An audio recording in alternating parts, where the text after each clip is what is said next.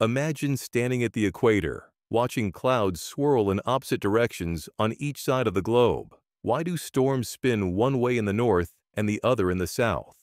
The answer begins with motion and Earth's rotation. From trade winds to hurricanes, this unseen twist in motion shapes our weather every day.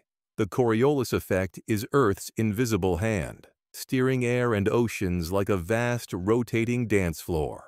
The Coriolis effect is the apparent deflection of moving objects, like wind or planes, caused by Earth's rotation beneath them.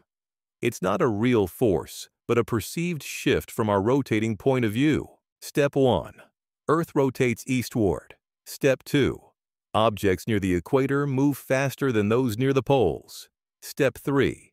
As air or water travels north or south, it carries that speed difference, appearing to curve. In the northern hemisphere, motion bends to the right. In the southern, it bends left. This consistent pattern explains why cyclones rotate counterclockwise up north, but clockwise down south. Pilots and meteorologists account for this constantly, adjusting flight paths and forecasting winds. Without it, global navigation and weather systems would make no sense at all. The Coriolis effect connects atmosphere and ocean. It creates global wind belts, ocean gyres, and jet streams, the dynamic highways of Earth's climate system. It's why the Pacific's currents form vast clockwise loops, and why air rising near the equator flows poleward. The planet's spin choreographs everything from monsoons to jet streams.